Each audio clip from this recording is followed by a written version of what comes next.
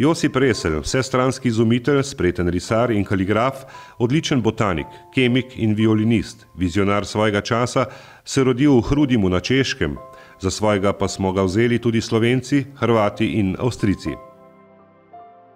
Leta 1817 je dobil službo distriktnega gozdarja pri posestvu študijskega zaklada v Pleterjah. Premeril in kartiral je takrat nepregledni in neprehodni krakovski gost in ga geodetsko razdelil s presekami pravokotne površine, ki še sedaj rabijo gozdarski stroki kot oddelki. V Kostanjevici na Krki je bil poznan kot pleterski žolnir, kar je poljudsko obrnjena beseda inženir. Po ustnem izročilu naj bi prav pri nas preizkušal enega svojih največjih izumov, ladijski vijak. Starejši domačini se še spominjamo pripovedi svojih prednikov o tem, da je po Krki med Dobravo in Kostanjevico vozil čovn brez vesel ali jader, ki pa je močno ropotal in plašil ribe.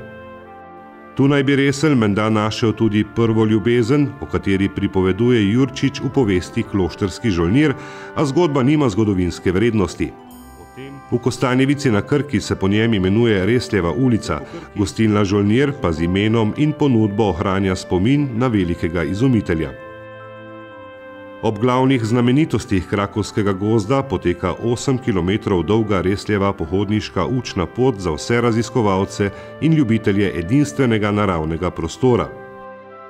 Anekdota pravi, da so ga nekoč v Gorjancih ustavili v skoki ter mu vzeli uro in denar, hoteli pa so tudi konja. Resel je tolovaje prepričal, da je to službeni kon, ki ga vsi poznajo, zato bi lahko roparje hitro odkrili.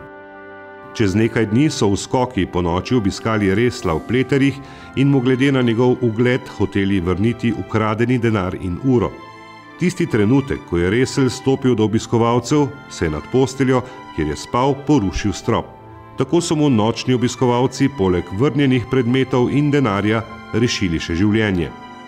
Resel je bil tudi sicer velik ljubitelj konjev, saj naj bi sodeloval pri začetku konjskih dirk v Šentjerneju. Omenja namreč dirkalno cesto Orenštrase, cesto, ki drži iz Šentjerneja proti Prekopi in Kostanjevici, izumil pa naj bi tudi plašnice za konje. Občina Kostanjevica na Krki se trudi, da si ne bi nadela plašnic, zato je poskrbela, da je Resljeva Renštrase, cesta od Kostanjevice proti Šentjerneju, dobila novo podobo. Po 8 milijonov vredni obvoznici v letu 2010 je bil lani zaključen dolgo načrtovan projekt obnove ceste skozi Prekopo, ki sta ga financirala Ministrstvo za promet in lokalna skupnost, skupaj vreden več kot 2 milijona evrov. Kako bi danes resel reševal različne izzive, ne vemo, zagotovo pa lahko trdimo, da bi mu bila všeč prenova uskoškega stolpa v Črneči vasi, naložba, ki je bila zaključena v letu 2018.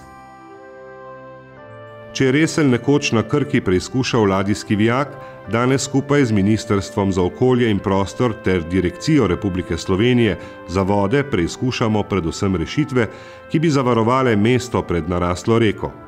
Do dokončne rešitve tega problema pa je morda dobro, da nabavimo še kakšen čovn ali sup, da bomo vedno na suhem. Tudi zaradi nevšečnosti z naraslo Krko ali prav zaradi nje je Kostanjevica na Krki večkrat že prejela naziv najlepši izletniški kraj.